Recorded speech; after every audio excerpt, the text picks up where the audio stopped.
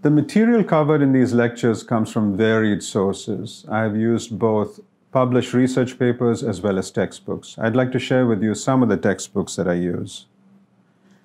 The first one is Computer Vision Algorithms and Applications by Rick Szeliski. I would say that this book most overlaps with the material that I cover in the lecture series. And then there is Computer Vision, A Modern Approach by Forsyth and Ponce, also an excellent book.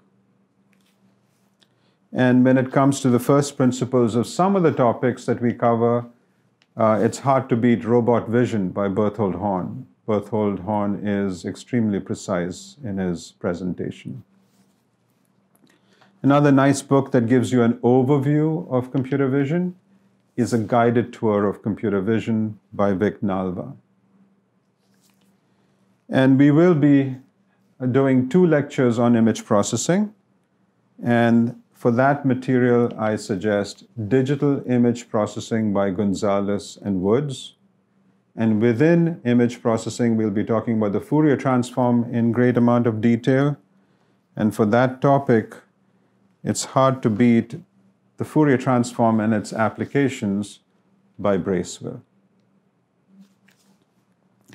And when it comes to all things optics, there's this beautiful book, Optics by Hecht. It's an absolute classic.